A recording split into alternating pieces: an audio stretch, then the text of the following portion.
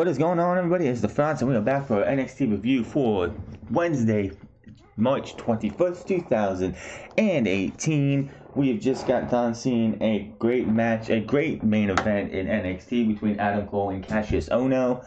We had the final first round of the Dusty Rhodes Tag Team Classic as well, which had a change to it because of Tyler Bates' injury. Pete Dunne and Roderick Strong took their place against, of course, the aforementioned, the aforementioned at the beginning of the um, tournament, Oney Lorcan and Danny Burch. But the show started off with another Ciampa classic. This was just great. He comes out to start this show. I thought this was going to be the night that we got the uh, announcement for the new title, but that is going to be next week.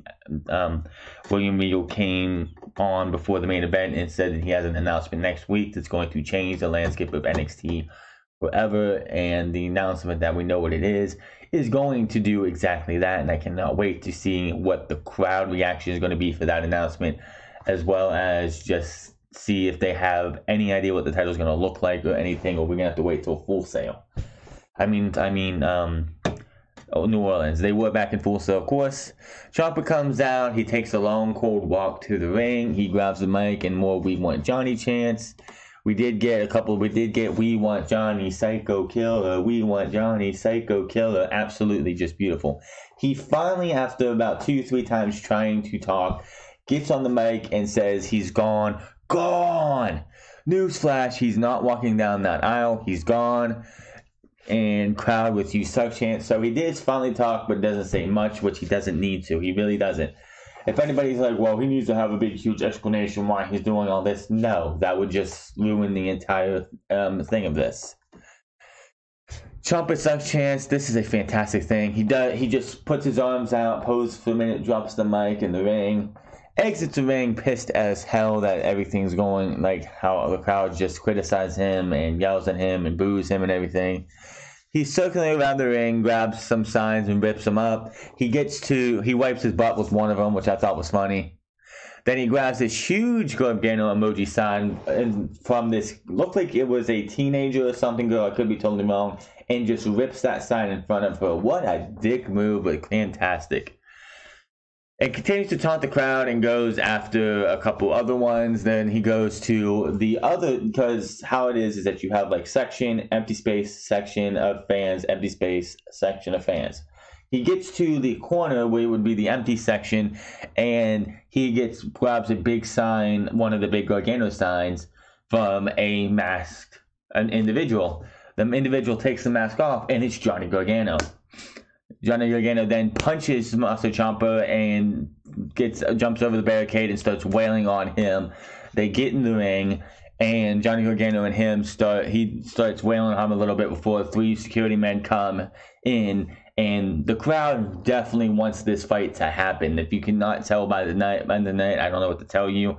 But you hear a massive "let them fight, let them fight, let them fight, let them fight" until they were able to drag Johnny Gargano out of the arena, and they went all the way back to like the parking lot area with Johnny Gargano being dragged while Chomp while Chomp is in the ring, pretty much going ballistic, like he doesn't work here anymore. What is he doing here? Get him out of here!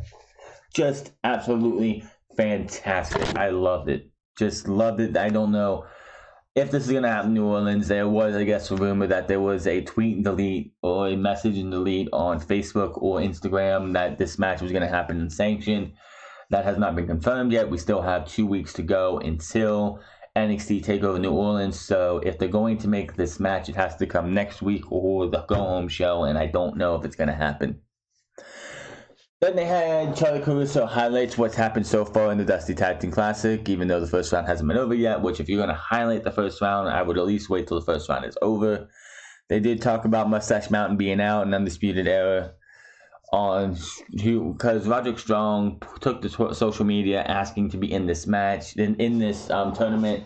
Which, if you remember, in the last Dusty Rhodes Tag Team Classic, Roderick Strong was a part of the Dusty Tag Team Classic with Austin Aries. Austin Aries was, of course, the man who introduced NXT to Roderick Strong, but unfortunately, due to a knee to the face by Shinsuke Nakamura, Austin Aries broke his orbital bone, and the Road Tag Team Classic journey for Team Aries, as it was called, because that's what Austin Aries likes to do. He's the greatest man that ever lived, and he likes to have everything be about him.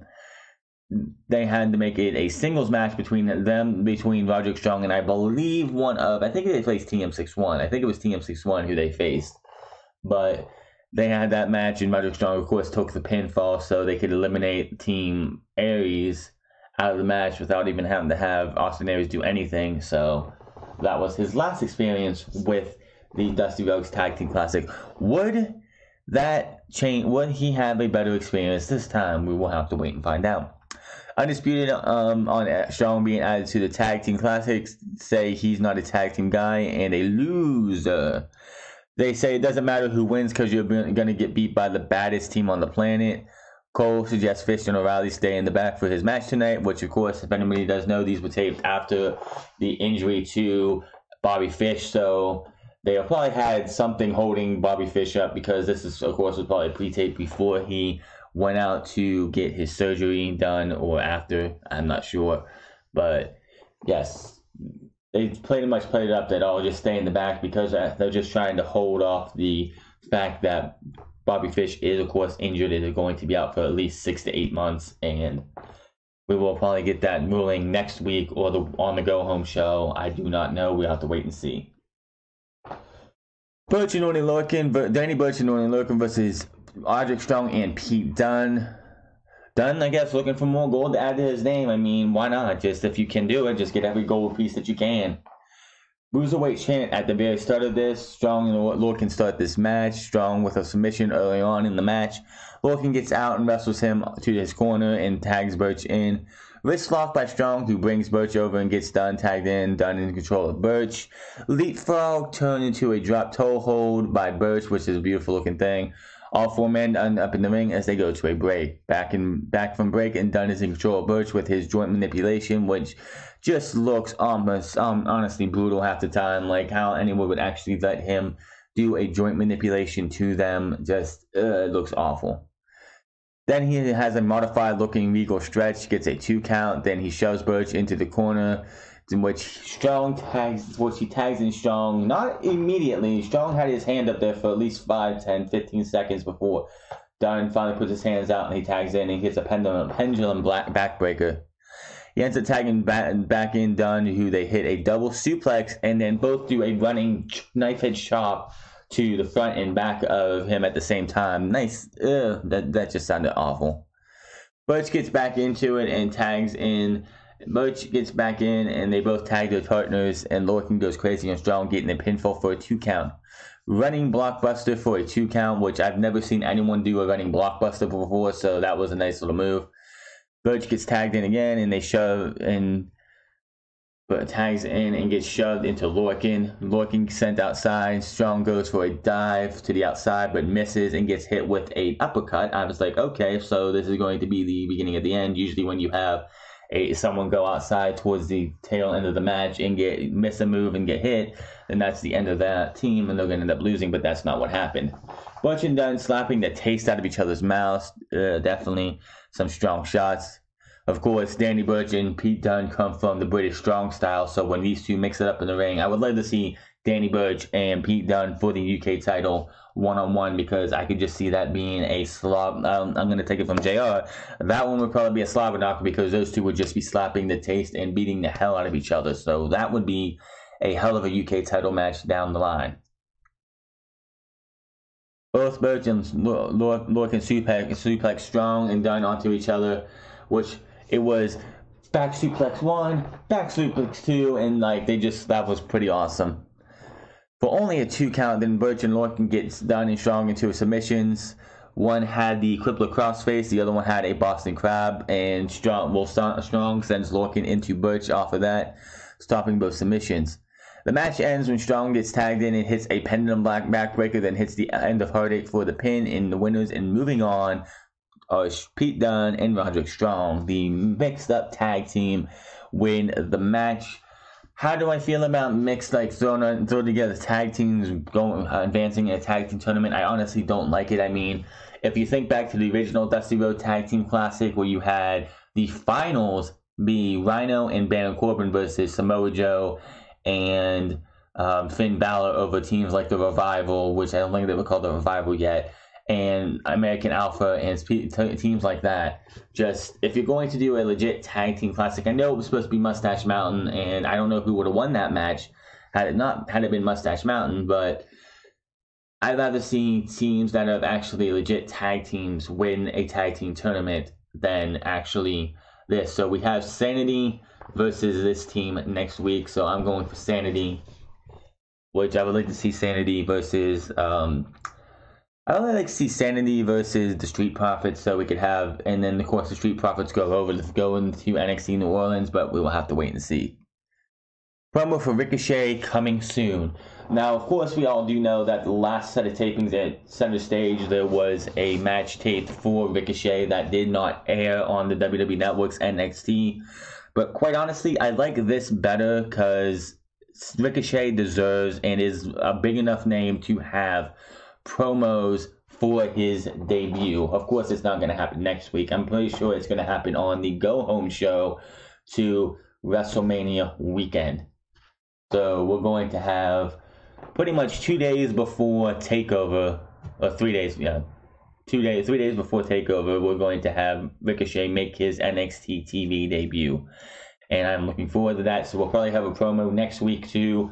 Same thing, and it'll just say Ricochet next week, and that'll just be really awesome. Ember Moon versus Aliyah they slap hands for you know that show of respect. You know, some people shake, some just do a little hand tap, and they lock up. Good back and forth to start in the corner. Leah grabs. Ember Moon goes to like kick Leah, who's running towards her. Leah catches that and pulls, swings it to the side, and just grabs her hair and pulls her down. At that moment, Shayna Baszler shows up on the stage and goes over to the um to the announce table, the commentator's desk, and decides to take over commentary for this entire match. Aliyah in control of the match at this time. Moon rolls up Aliyah for a two, then a running flatliner, which was pretty interesting. Diving crossbody caught turned into a Samoan drop. Cartwheel splash in the corner for the Eclipse for the three count, and Ember Moon is your winner. Post match, Ember Moon gets on the turnbuckle facing towards the um, commentator's desk, and Shayna Baszler gets on the commentator's desk, and these two just trash talk back and forth and stare down. Looking forward to this match. I'm surprised they didn't do a contract signing for this one, but of course they did do the contract signing for the World Heavy, the um, NXT Heavyweight Championship. So that is what it is. So they did announce that the semifinals, both semifinal matches will be next week. We will have the AOP versus the Street Profits, Insanity versus Strong and Dunne, which you could call them. Um, you could call them.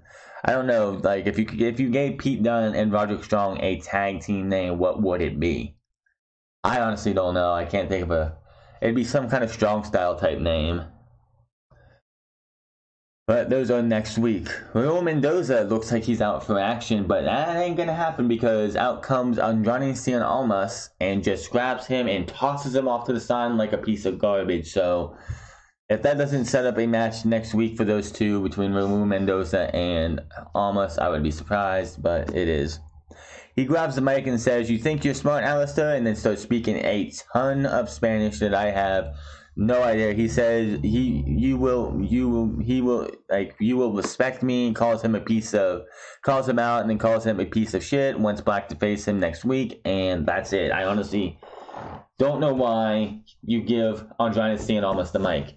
He has the wrestling ability for WWE. He does not have the mic skills. You have Zelina Vega, who has she can wrestle, she can wrestle, but she's a manager right now. She is his manager. Have her do the talking. That's what managers are actually supposed to do. Female managers, for sure, are not just supposed to sit there and look good. Majority of the time, they're actually supposed to do the talking. Let Zelina Vega do the talking so we at least know what the point is across. He can like talk, like whisper into her ear what he wants to get um wants across to come across, so we know what the heck is supposed to be said but she has fluent English. He does not. That is the weakness of his character. Let her do the talking. Having her be his mouthpiece is not a bad thing. So just let her do the talking so we at least know what's all need to be said. Hype promo for Lars Sullivan, who will make his return next week as well, and Aleister Black will be in Full Sail Arena next week for NXT. So that's all next week, and including Regal does come up and says he will be making an announcement next week that we have all been waiting for. So I am looking forward to that one, just to see what if they have the title, what the actual how he's going to announce this thing. Is he going to come out? Is he going to do some kind of historical like reference to the North American Championship? Because the only promotion in the United States, the only thing in the United States that I know has a North American Championship is the NWA, which is still a thing technically. We will have to wait and see, and we'll go more into that next week than this week. Adam Cole versus Kassius Ohno. Dueling chance for these men to start. They lock up, and Ohno takes control early. Cole gets a shot to the gut on Ohno, and more shots to his gut. Running shoulder tackle to Ohno.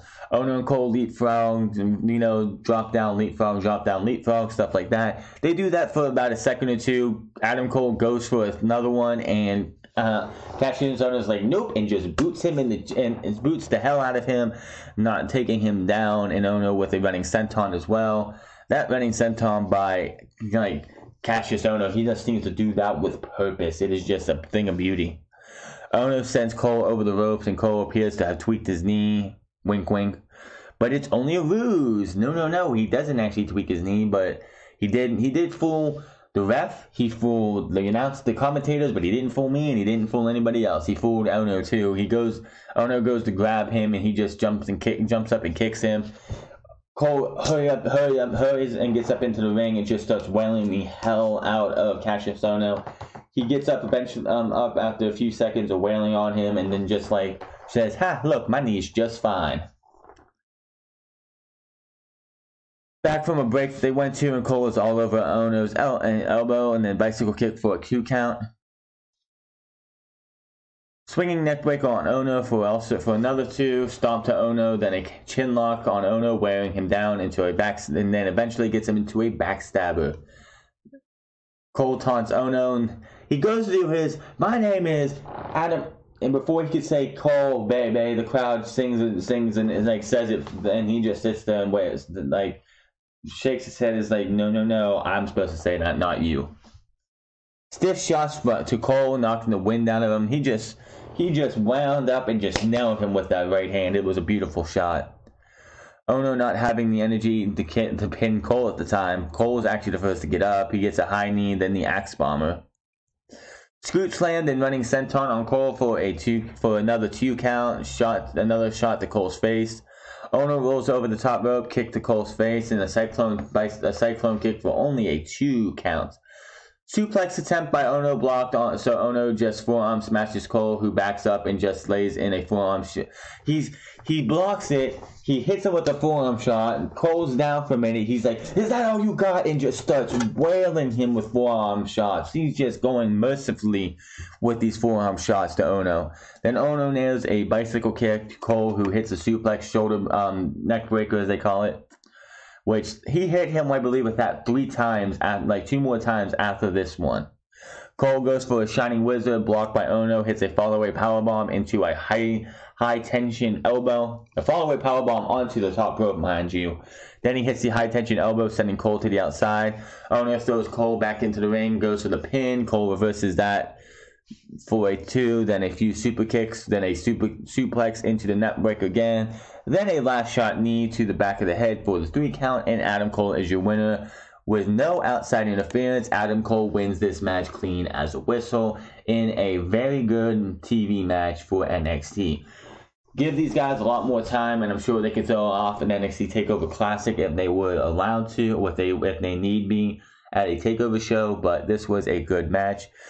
Not much, not much in the sake of story development for NXT Takeover. I mean, the woman did have the stare down and almost called called out Aleister Black and called him a piece of shit, which they did bleep the shit, of course. Which made it even more shocking they actually let him do that. Um, next week's gonna be interesting because I'm sure we'll see a lot of build other than the tag team division, the tag team classic, which looks like the finals is gonna be on the go home show no idiots, anybody who thinks that the finals is going to be an NXT Takeover New Orleans, it's not going to ha- um, happen. That's obvious because there's going to be the finals at New Orleans. And of course, everybody does know Adam Cole will be doing double duty at New Orleans, so this guy deserves a raise at TakeOver. We will, of course, have the announcement of the North American Championship next week, which I can't wait to hear the crowd reaction. EC3, of course, will make his debut next week, and um, Ricochet is coming soon. All that and more for the next two weeks, and we only have two weeks left of NXT tapings to go before we get to we get to our next takeover, which is looking to be the strongest takeover ever. And these takeovers just seem to be getting better and better.